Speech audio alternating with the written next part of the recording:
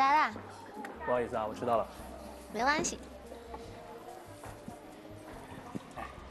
你选的这个地方很贵，虽然我现在是很有钱，可是我的钱还都只是数字啊。今天我是我的老板，所以这一顿我来请客。那我可得好好的。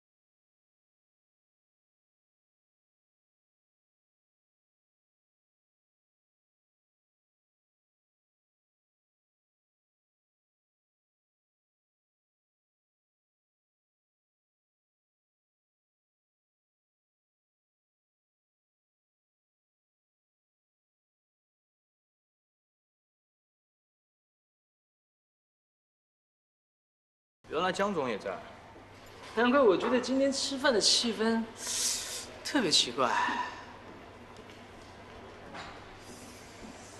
这位女士啊，我们这里是会员制的，你看一下四周，你不觉得你这一身打扮很破坏气氛吗？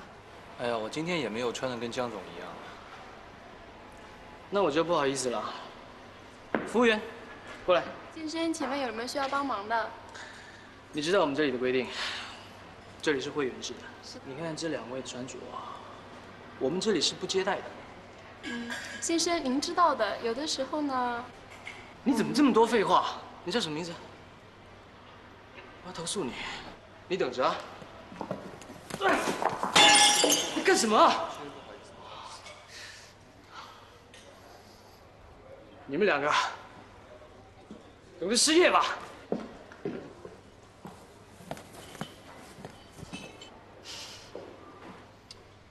我现在有胃口了。我也是。谢。哎，也不知道怎么了，今天江东突然让我买了十件白衬衣。那你问他呀。看他那样，我可不敢问。啊，对了，嗯，我告诉你一件事儿。徐然那天带我去了一家特高级的顶层餐厅吃饭，不许惊讶，不许问我花了多少钱，也不许让我请你吃。今天风口挺快的，好吧，我不问，你说吧。可是，在那边呢，我们碰到一个特讨厌的人，名字我就不说了。那边餐厅的人还没说什么呢，那个人就揪着我说我没穿正装，说那儿是会员制的，非得拉我出去，完全看不起人。不过结果他自己把汤汁弄洒了，淋了一身，自讨没趣。真的？我骗你干什么呀？好吧，那个人是挺讨厌的。哎，不过你可不可以告诉我，我要几个月工资才可以吃一顿呢？嗯，我还是不告诉你了，你自己去就知道了嘛。不过真的很好吃。哼，有什么了不起的？我还减肥呢。江总，衬衣都买回来了，先摆着吧。有什么消息没有？没有，他就说他和徐媛在一家餐厅吃饭，遇到一个挺讨厌的人，除了这个就没有其他的事情了。就这么点事儿啊？他怎么说？他没有说什么。他没有说什么，你告诉我干什么？下午的报表呢？做了没？我马上去做。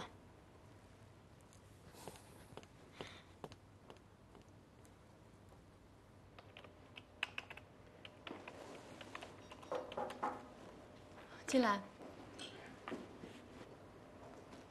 你怎么来了？这个沙漏送给你，是在提醒我们加快速度吗？我们可是在按时间表的计划在推进。恐怕你们真得抓紧时间了。我们刚刚决定了，在朝人方案的同时，启用你们之前说过的另外一个方案，也就是徐然说的那个电视剧方案，拍一个能够体现青阳品牌精神的电视剧，而且要完全不同于以往广告植入的电视剧。我们现在投入所有的时间和精力，在完成一个大家都认可的计划。你突然说再增加一个完全不同的方案，那我们之前所有努力很有可能全部白费。所以我想亲自过来告诉你这个消息，做出这个决定，对你对我都不容易。那损失呢？你们承担。推翻一个大家都认可的计划是要支付额外的费用的，江总。恐怕是由你们来付，我能负担的。就是这个小礼物，我可以告你们违约。如果你告的话，你一分钱都拿不到。唯一可以挽回这种损失的方法呢，就是完成我们的合约。这份合约值一个亿，这一个亿决定了我可以在这里蛮横不讲理的推翻一切重来。去拍一个青阳电视剧，能告诉我们为什么突然增加这个方案？我们现在宣传的效果你们不满意吗？满意。可是我们要的是非常满意。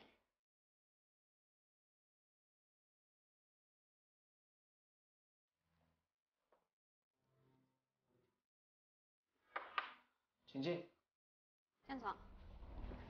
这是冯乐飞公司电视剧计划的复印件。你叫导演进来吧。好的。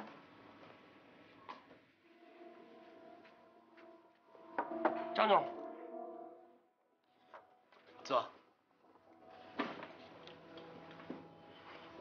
很多问题我们之前在电话当中都已经讨论过了。这个是无懈可击的计划书，你看一下。你想用也可以，我只有一个要求，就是快。我希望我们的电视剧可以在他们拍完之前的一个月播出。只要资金到位的话，这个应该没问题。资金不会是问题，你放手去做吧。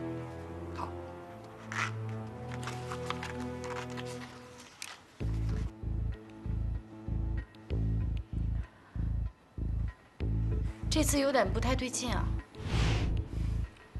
这次太不像江东的作风了。是啊，江东从来都不会这么轻易的通过一个提案，而且没有挑出任何毛病，直接同意启动。